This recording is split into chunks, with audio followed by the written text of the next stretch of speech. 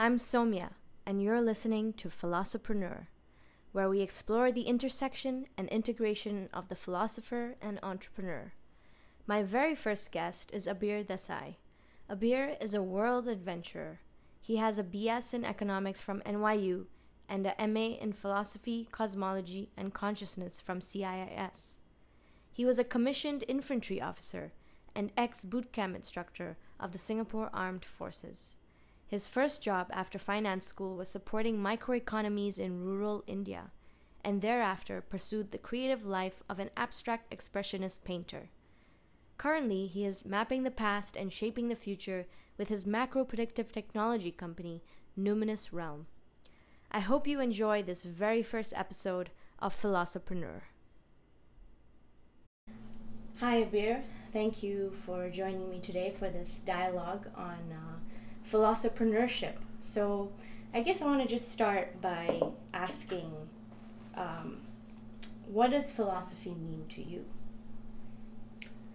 Yeah, I think that's a big question. I think we were talking about that just earlier today. What is philosophy? I think philosophy is a way of life. That's what I think it is. I know that there's an academic subject called philosophy in the quote unquote ivory tower. Not trying to knock academia and that whole lineage of studying philosophy formally, but I do think philosophy can be taken out of the mind into more of the body, of which culture is a part of the bodies which hold us, you know. I even think the way that different plants grow, like a moss versus a vine versus a tree, indicate different kinds of philosophies, I would say. Um, I think you were saying it's a love of wisdom, which is the technical definition, I guess, the etymology. But that's my sense of philosophy. I think it's a it's a it's a way of movement. It's it's how spirit moves through matter. I would say. Hmm. Interesting. I like that. And what about entrepreneurship? What does entrepreneurship mean to you?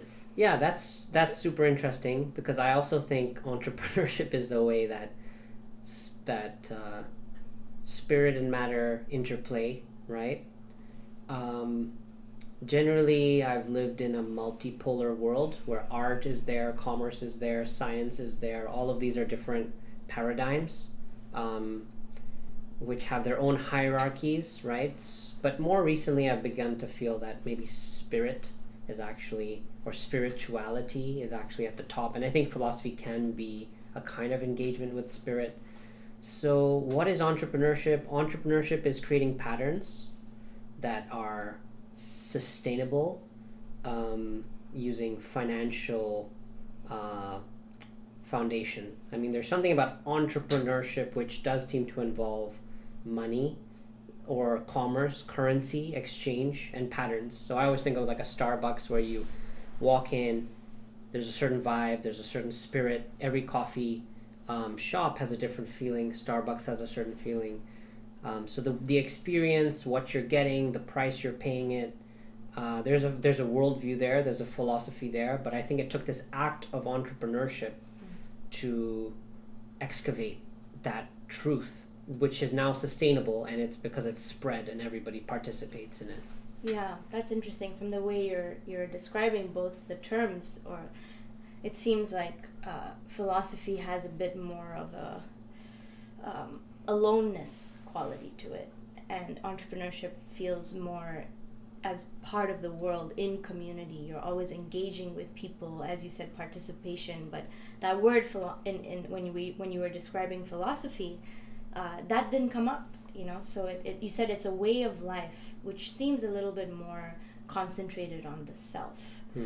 versus entrepreneurship seems to be more focused on um, on the whole community yeah. so yeah that's interesting I, I, I appreciate your perspective i just want to yeah explore that you know so i work with archetypal psychology mm-hmm. so there's this sense of solar and lunar qualities so when you talk about a community, I immediately think of a lunar relationship, and the individual is a solar individual journey.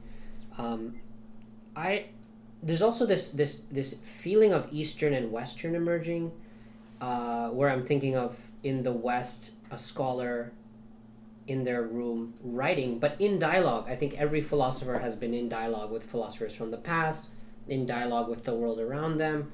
Um, but generally, I think in the West, there has been in the past 300 years an emphasis on the solar individual journey. Uh, somehow in the East, this is not totally fair, but it's just the feeling coming up is that sense of like monks in a monastery all together, you know?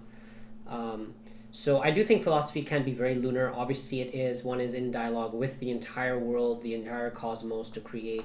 Um, entrepreneurship can also be very solar, individual. I'm also thinking about lean startup kind of approach, which is super emphasizing like customer feedback cycles versus a more fine art kind of artist or luxury mm. industry, which is a bit more focused on an, an authority figure, a solar identity, like the brand like Chanel is on top of the entire hierarchy. It's at, at the center, so it communicates, you know. Hmm. Um, so I think there's always so much everything. There's a fractal like quality to the everything exists in everything. At the same time, we want to try to differentiate. You know, what is philosophy? What is entrepreneurship? So I think yeah, I think it's an excavation that's under underway. Yeah, I find that really interesting, and, and you bring up you know the luxury market, which um, I'm forgetting the author, uh, but I think the book is called The Luxury Strategy, where they talk about how um, you know luxury brands don't focus on what their customer wants. They don't they don't they don't integrate customer feedback, and they they they pretty much kind of project their own philosophy onto the world, right? So how why is it that that such a vision of business, such as like you know, if we let's let's let's imagine Chanel, you know, why is it that it's such a successful company, but then at the same time you have someone like Elon Musk with Tesla who's integrating customer feedback all the time is also as successful. Yeah, well, to be fair, I do recall Elon Musk remarking that for the Cybertruck, mm. they did not go through a big customer feedback thing for the design, which I think is amazing. Honestly, I really feel like the design really hit the zeitgeist. I mean, I don't know when was it announced, 2018 or 20.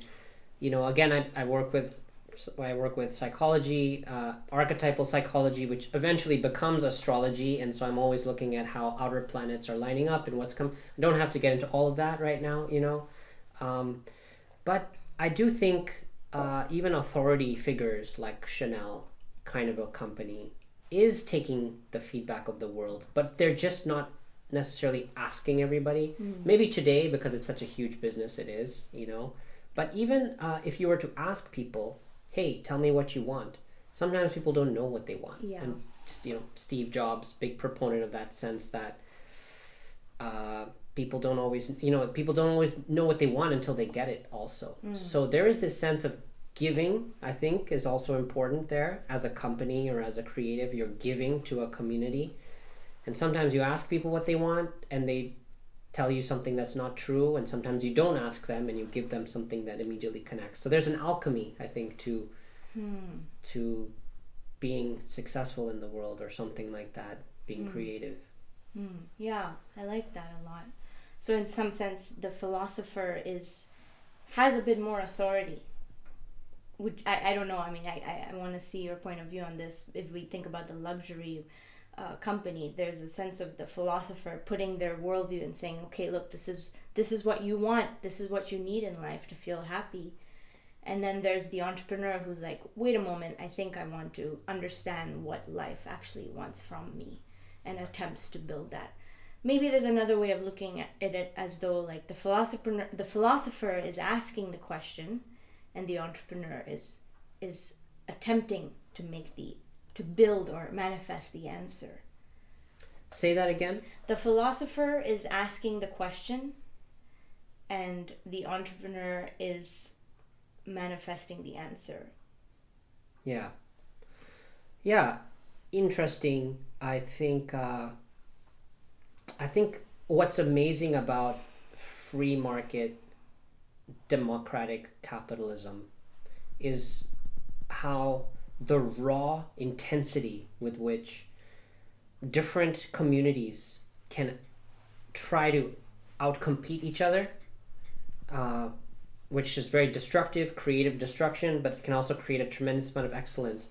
I was just thinking about the new Harry Potter game which came out, Hogwarts Legacy, and I was just like, wow, these team is competing with every other game, every other film, every other activity a person could do. Uh, they're competing with all of those, so they have to make an amazing experience to convince 10 people, 100 people, hundreds of thousands of people to give, you know, an hour, 10 hours, a month of their life to experience this thing, you know? So I think it's amazing in this, again, like free market, democratic, capitalistic, with regulation society, because even government is part of that balance, you know, that mm. You have an amazing lineage of Swiss watchmakers in Europe, then suddenly a company in California, Apple comes along from the tech world, nothing to do with clockmaking, and creates a product that hmm. eats away at that market. And then you have Apple has invested billions of dollars to create an amazing camera smartphone. And then you have some Gen Z kids who are like, I don't even like my pictures to look super sharp. I want blurry pictures. I'm going to go back to the StarTAC phone or whatever the from the 90s, phone. the yeah. flip phones. So, like, it's like culture attacking, uh, you know, tech, tech attacking business, business being attacked by government, blah, blah, blah. Like, there's just this ceaseless churning, which I think is is just how the cosmos is, and I do think this free market, democratic, capitalistic, regulated system is is it just creates enough room for that that magmic intensity at the heart of the cosmos to like keep generating out. Mm. Beautiful. I like that. Yeah. Um, there's a lot of points here. We can we can we can continue to open up. And before that, I think I would like to just you know, ask more about your journey into both areas and then perhaps how both come together. So maybe we can start with your journey into philosophy. Yeah. So I was in the army in Singapore and uh, feeling kind of alone out there because I, I had not really lived in Singapore much since I was a kid. I had to be there. And on the weekends, I would just kind of roam around the city, you know, and listen to music in the record shop and browse the bookstores. And I think that's where I first began to come across these kind of interesting books. Uh, one was by Ervin Laszlo. Uh, I forget the title, but later I realized he was a major figure in the integral, or uh, yeah, I guess is it the integral movement, or just this kind of not integral as in Wilber, but more like, uh, you know, um, like Maslow's hierarchy of needs and Stan Grof and that whole world, you know, transpersonal kind of world. Found one of his books, found another book that was all about different thought experiments. The Pig Who Wants to Be Eaten. It was just like filled with a lot of thought experiments. Came across a book by uh, Yogananda, the famous book on uh, autobiography of a yogi. So these were different things that I just came across. I think music has also, also evoked a sense of wonder and then I went to college, you know, for for business and found an, an entire you know consciousness opening up within me that was not really being addressed by this Wall Street world, which I was in when I was in college. The Great Recession was happening, and I had a lot of questions about what commerce, capitalism were, uh, and uh, so I, I kind of I feel like I checked out or I dropped out honestly while I was mid flight of my program. I just you know, I was still in the program and I still graduated, but my momentum was pulling me somewhere else. It took me to a, a, a, village in South India. I was working with Sudarshan Maini, one of India's great entrepreneurs, who was also a very spiritual man. Every morning he would meditate, he would pray. I had a lot of opportunity to dialogue. He uh, made the Reva uh, electric vehicle in India, one of the first mass produced electric cars. One of India's great industrialists, actually, lived in his house, dialogued with him. Um, so those were some of the stepping points. Uh, you know, I think uh, the 12 step community also was a big part of finding a spirituality which was very um, robust and durable, usable, not like in some book, but in the world. Uh, 12 steps like uh, AA or different programs like that, where you had people from all walks of life finding their own spirituality, what it meant to them. That was a big revelation for me uh, and of course the PCC program.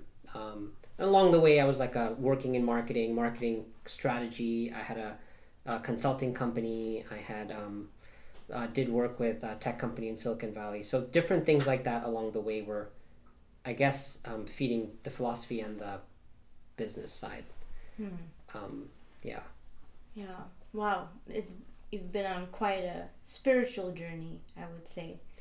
Yeah, I wanted to mention the painting too. I think three, four years painting while I was in grad school also. Um, but yeah, I think that just takes me to the to the moment here. It just feels like it's all there. There's just this feeling, this desire to be in the world and then to be out of the world and to just keep seeking the mystery and then you find a bit of a mystery and then you try and make meaning from it and then Yeah. you need more mystery. That's, that's So would you say your pull towards philosophy was always this sense of seeking the mystery? Like was that your pull or was there some other underlying like like why am I here or you know, you mentioned uh 12 step. So um I don't know if you want to go into that, but what was there something deeper that was like pulling you in this direction or was it just very fundamental on an, on like this mysterious pull of Yeah. what you know existential feeling of what it means to be human. Yeah, I remember being in college, you know, uh, you know, or, or having a,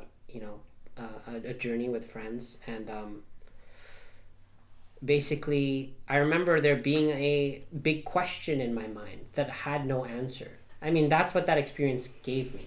You know, it was just like this sense of, um, what is that question? I mean, there was like there was this question in my mind, but I just didn't even know what the question was seeking, and I think when I threaded back many years before then, that's what I felt in Singapore too. It was just a, a question I had, but I didn't really even know what the question was.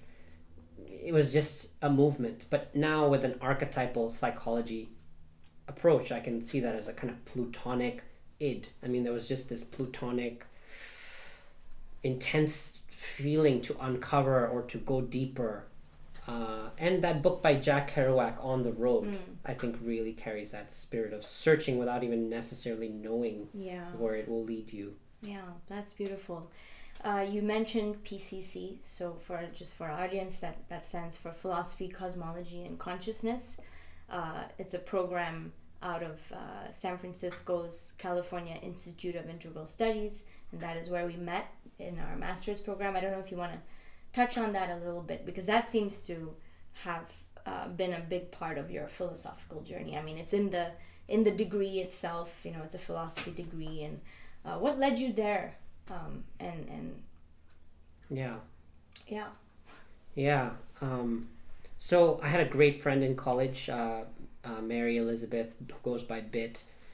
Hardest working student I ever met. Was always in the library. Great friend. Um, uh, you know, and uh, I think she could sense that I was on this quest to know more. And when I came back from the village and I was writing, I started writing a book, uh, eighty thousand words, on basically psychology because it was just like I just wanted to share the experiences I was having and to help any person have a sense of like the different parts within ourselves. Now I see it's kind of archetypal psychology that I was writing about, but it was inspired by all the different brew that I was into at the time. Um, Eckhart Tolle did inspire me at that time, and you know, Twelve Step also. Uh, lots of different things. This whole this whole thread. Um, but she she saw that and she was like, yeah, maybe you could be a therapist. And there's this great program in CIIS, and she herself was considering going there. And she's this insanely hardworking student who could go to any college anywhere and did I think do like many grad graduate programs and. So through her, I found out about this PsyD program to become a counseling, th- uh, to be a psychologist, doctor of psychology. Looked at that program because CIIS is like a mecca for transpersonal psychology. So bringing spirituality into Western academia. I mean, that's where it happens and been happening for several decades. Many of the founders of that school were the pioneers of the 60s spiritual movement that America and the entire planet got, you know, this modern sense of spirit. Uh, so that's where I found the PCC program. Just stumbled across the website, and one of the, the happiest accidents, I would say, in my life. Nice, wonderful. Uh, well, I mean, you did mention a little bit about your entrepreneurial journey, but perhaps we can go into that a little bit more as well. And like, you know, I mean, I think this sense of uh, entrepreneurship, startups, you know, blew up uh, pretty significantly in the past, like since you know maybe around 07 all this this whole like 12 year decade um, a little bit over a decade now uh, you know the whole startup scene blew up. Everyone wants to be an entrepreneur. And um, uh, i just want to get a sense for what your journey has been like. What what inspired you to be, be an entrepreneur um, and where has it brought you so far? Yeah. I don't want to get too technical but uh, you know, I do astrology with outer planets, and so we had an alignment from 2007 to 2020, which was a Uranus Pluto alignment. Don't have to get into the weeds about that, but basically the 2010s were this very raw time for everybody. Strong focus on being who you are, being real, being yourself, bucking the trend, not getting stuck in systems of other people whether you're an influencer, whether you're a founder, everybody was a CEO, everybody was a founder, everybody was an influencer. And some influencers, some startups, some, you know, people rose up to be more influential than the institutions of the day. You know, like you had random Instagram accounts that were more relevant than Vogue magazine was, you know. Uh, for some period of time and, and then many of them became the institution themselves you know so there was this feeling in me i would say it's part of that philosophical quest that desire to be on the road a friend gave me on the road when i was studying abroad in london and that really opened up this intense feeling because this was like sophomore year of college so freshman year i was like a good Stern kid, NYU Stern, Wall Street, feeder school, wearing suits all the time, how to tie a tie, you know, all of that, going to networking events. I mean, very interesting. I wanted to be part of that world because when I was in the army, I felt so stuck. Mm. And I saw some man and with his friend walk in to a hotel because I used to sit in the hotel lobby in Singapore, the Swiss hotel or some hotel, just having a drink, you know, wishing I could be free. And I saw two men walk in with navy blue suit and a rolly backpack, and I was like, man, like they look so free. You know, they probably just flew in from somewhere to this hotel and they'll fly out tomorrow. And I was stuck there for two years. Um, great time, but it was a time where I felt a bit like I had to be stuck there. You know. Mm. So it was a sense of freedom that took me to business school, but then the Great Recession started happening, and then my friend gave me on the road, and then dubstep music also started to become a bigger part of my world which was a pretty big part um, for several years there. Just that feeling, that libidinal release, you know, or libidinal unleashing, liberation, I would say, which jazz music has carried, rock and roll has carried. That was my encounter with dubstep. Later, some rap musicians as well. I think Kanye West really did an amazing job of carrying that in the 2010s. So these were some of the things that um, uh, yeah just just just drove me to want to do my own thing in life make my own mark not get absorbed into jp morgan which is where you know i was going to go work after college um, mm. amazing bank i mean my admiration for jp morgan chase and jamie dimon has only increased over time but i just felt like there was a larger destiny which i think many people have that experience maybe all young people do but i think the 2010s were especially about shaking it up yeah yeah totally that's cool. I like I like that a lot. Um, so, what what is it that you know you're you do currently? Yeah, so I'm an astrologer. You know, I have many friends sometimes who say, "You're like you're much more than an astrologer." Um, you know, that's not. If you say astrologer to somebody, immediately they just they have a certain perception that maybe I'm writing horoscopes for the newspaper or something like that, you know. but I, am I'm, I'm what you call an industrial astrologer, you know, uh, is, is one way I describe it. Uh, the reason I use the word industrial is to purposefully try and mash up this sense of astrology, which is often very personal.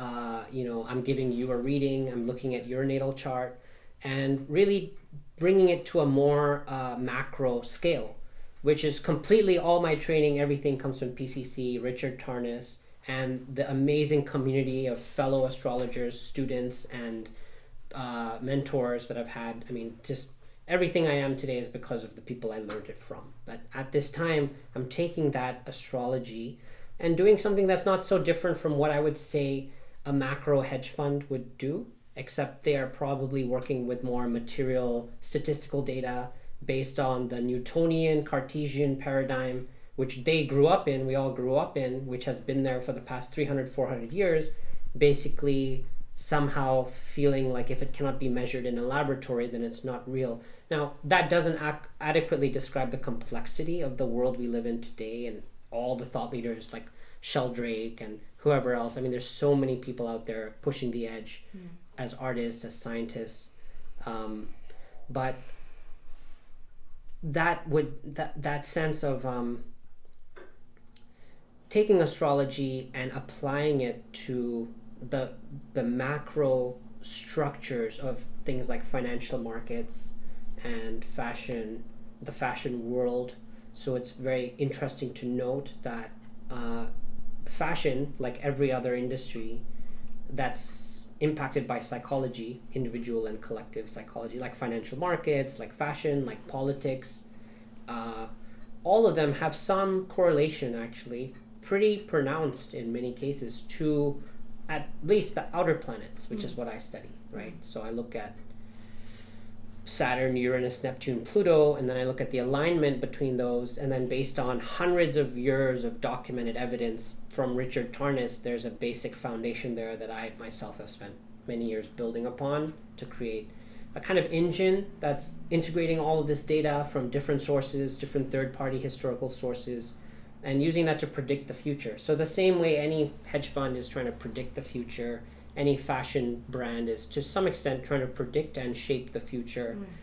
Uh, I do a similar work on a smaller scale, pre funded, just bootstrapped at this point, research oriented, um, but with some experiments, explorations into weaving commerce into this kind of a prediction. That's what I do. Mm, wow. Yeah, it sounds um, very complex and it, it, it does seem uh, like you are um, embodying the sense of a philosopher. And um, if you can just maybe touch on how that unfolds in your work, like where where does how do you mesh or entangle the philosophical with the entrepreneur with the entrepreneurial side? What is is there is there even a, a sort of a schism? I don't know if that's the right word, but or if there's a separation between the two because um, I think right now the, the the term philosopreneur is just really emerging, and uh, as I embody it, as I try to embody it, it feels like there's a separation between the two. It's like I'm in philosopher mode right now, and then I'm in entrepreneurial mode, um, or you know, attempting to be. Uh, so I want, I just want to hear from you what how that comes through because it seems like you're dealing with a very philosophical system you know astrology and um, a par- you know paradigm shifts. Um, maybe yeah, you could just touch on that. Yeah, well, I would say like you are a, a light of what philosopher is. You know, to me, I feel like it's a word that you brought into my awareness, and you have really carried. Uh, I remember I lost my Apple Pencil, and then I was using your Apple Pencil for a month or two months and you have like philosopher inscribed on it. And i would look at that term and it would what it would evoke in me is a is, is a bit more of a reflective quality you know? So the, the the entrepreneur wants to grab and do and the philosopher wants to sit and contemplate at least with regards to how i i it shows up in me. Yeah. And so the philosopreneur was somebody who was always doing but was always honoring the depth of uh, reflection. And to be fair, like I think many people carry that. I think Peter Thiel types of people who are so philosophical and also entrepreneurial. Obviously, there's so many Naval, you know, Jacqueline Novogratz. But I would say where for me philosophership began was in the art studio. Mm-hmm. So for me as a painter, that sense of working with material things, paint and brush, uh, guided by a sense of spiritual reflection.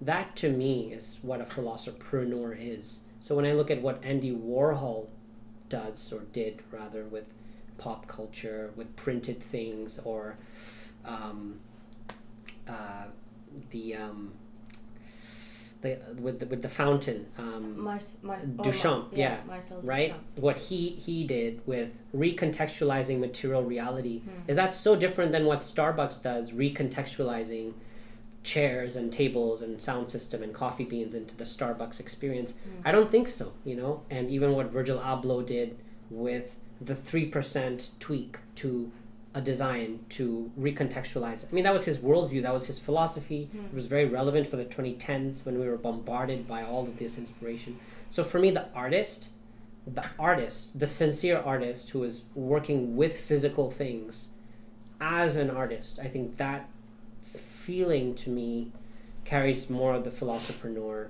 Hmm. than either the philosopher does or the entrepreneur does, actually. Yeah, that's really interesting. I like that the, the material, the tools that come into play, um, and and how it, it, it sort of dances with spirit. And and so I, I, I want to ask like, how do you differentiate that that artist who who is now being seen as a philosopreneur, um, is different from uh, a philosopher who is writing but sells their work. Yeah. Somehow, as you describe that, like recipes are coming to mind. So it's just like, you know, there can be an acai bowl, you know, with some bananas and then there's extra peanut butter in there. Or that same acai bowl could transform into like a sandwich, which has the peanut butter, the bananas, and a bit of acai, you know? Mhm. But now there's bread there. So at the heart of it is the human spirit, I would say you know so if i had to before i used to live in a completely mul- multipolar world where there was like art and there's commerce and there's science and there, you know and they're all relevant you know like now i have a sense of actually maybe i'm just this is my edge of exploration that spirit comes first you know? And um, all of these are just ways that we as spiritual beings like choose to show up you know?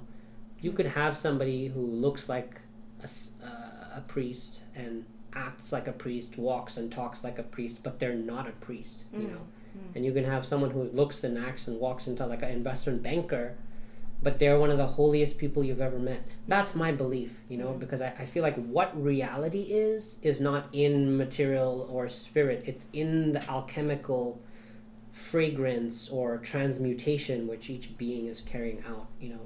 So you could have a, a philosopher who never sells a business book who could still be the biggest business genius of their time.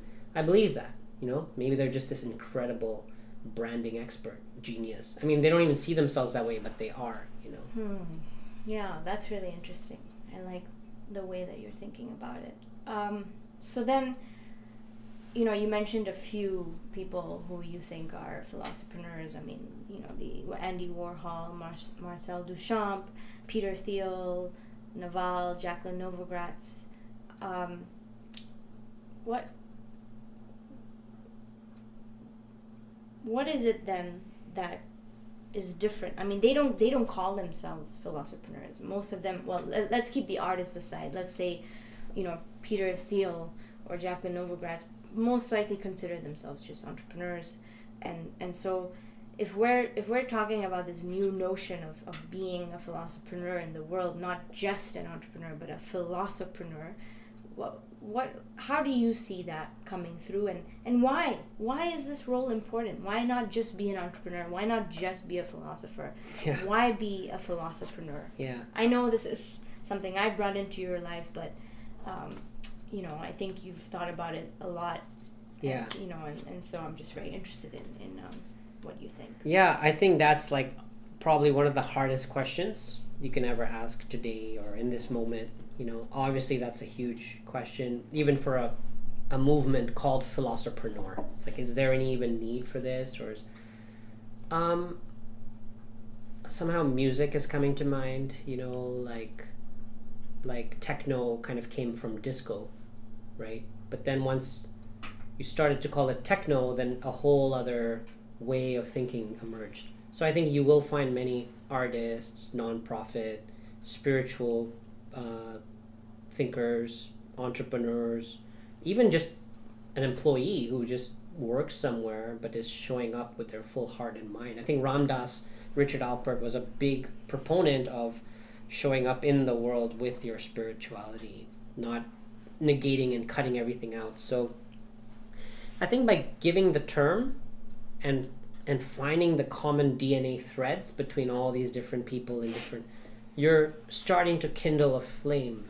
Mm. And as that flame grows, you know, over time, people may become native natively a philosopher right from the get-go once examples have been given. Many times books are like that you know. All these books i used to read in college fortune at the bottom of the pyramid or uh, ck prahalad wrote about the social enterprise movement. I mean basically these kind of books uh, are just finding a lot of examples of a theme of a trend and then giving it a term. And now the term which previously was a bundle of loose sticks is a solid foundation for something new so you don't even know what philosopreneur is, of course, because there's a mystery. But by giving it a term, by doing your best to identify what it is, what it's not, and reflecting with people, uh, I do think there's a new kind of focus being created there. Hmm. So that's that's where the meaning is. Yeah, I like that. There's still a sense of uh, emergence. Like there's no real defined sense of what it means to be a philosopreneur and uh, maybe the hope is that it just kind of seeps into society and, and everyone kind of creates their own sense of what it means to be a philosopher but i think at the heart of it it's the sense of like uh, deep critical thinking uh, matched with pragmatic actions uh, you know and, and commercially pragmatic actions so yeah i, I appreciate your your Yeah. perspective yeah. I just would like there should be something that is at over time like a, a certain like you know f- colognes and perfumes use many of the same ingredients.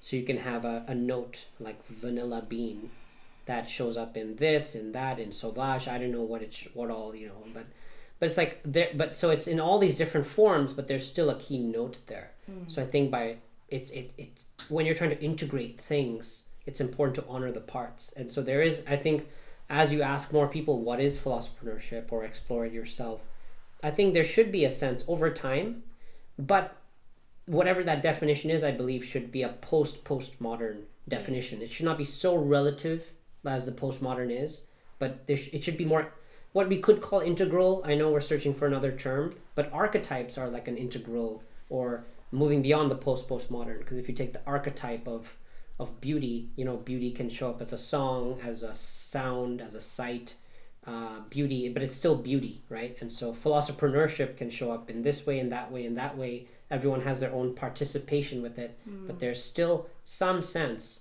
at least within each individual heart of like what it is Yeah, that's really beautiful. I appreciate that. We want to move beyond that relativism, and maybe I, I think as you say that, I'm I'm thinking that uh, there's a deep care for civilization at the heart of what the philosopher is doing is what's coming to mind. There's i mean entrepreneurship is you know there's you're always working with customers so you are in in some sense doing something for someone else. But a lot of the times we have people and there's nothing wrong with with this notion of going into entrepreneurship because you want to make money. Obviously we all need to make money. We all need to make a living. But maybe there's a sense in which that the the the other is in front of the this is in front of the self. So the self is a little bit on the back seat. I'm not so sure but um, there's a sense of like i thou in in in, in the philosopher it's like you're you're really now we, we we're reaching a point where as a, as a species we want to you know I, I i think put try to put an end to conflict. Do we really need to be in conflict anymore? I don't know. Something to question. And um and thus so the philosopreneur can start moving towards this towards this reality which is more whole which is more giving which is more peaceful. So at the heart of the philosopreneur is is is, is thinking about our species as a whole perhaps. Yeah, that's really great. It's great to hear you start to hash out for yourself. You know, it's like a, it's like listening to a song. I mean, the song has a clear presence, but then you are dancing with the song, right? So it's like, what is philosophership or philosopreneur is a sound that each person resonates with on their own terms. I loved what you said about the uh, caring about society. The thing about the self, I would question you, I would ask you this question of can one not find the entire Mm. cosmos through the self? Do you believe that's true or do you believe that that's that's not true? Yeah, I, I do believe that is true. I think it's all really a mirror, a reflection, whatever uh, I'm doing for my fellow uh, human beings, I'm doing for myself. At the end of the day, it's it's it's all like a yeah, it's a mirror. It's a it's a reflection in many ways. So I do think that so maybe there is no separation between the self and the other. It's all just one thing. Um, yeah, I think this is a very deep avenue to go into like whether you know whether that is whether civilizational uh, intention is at the heart of what the philosopher does so thank yeah Hmm. thank you for for bringing that up i think something for me to continue to contemplate and also to act with Yeah. and yeah i think you know i just want to know uh, in terms of your day to day activities like what what does a philosopher's day look like well, uh, yeah, I guess I could be uh, considered somebody who is trying to be a philosopher, or at least some part of me is.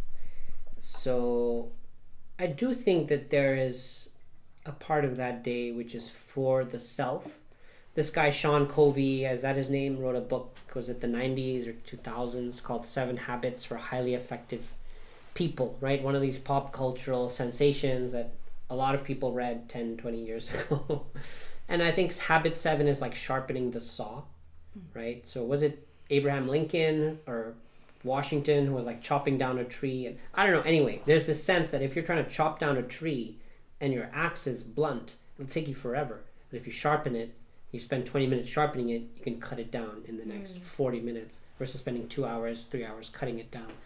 So i think a lot a big part of every day not a big part, but a meaningful part of every day should be towards one's deepest sense of what it means to be a human being, which is a subset of being part of the cosmos, you know? So, what does it mean to be of the cosmos? I think is important. So, if one is just rolling out of bed right into your first meeting, that's okay but then later in the day you know you should have room for whatever that edge is that you're always honing yourself these days for me meditation is a bigger thing. Before working out had that role. There was times when reading was that painting was that. But i think there's a role we play in society but then there's a larger reason we're here that's not so clear always but exploring that.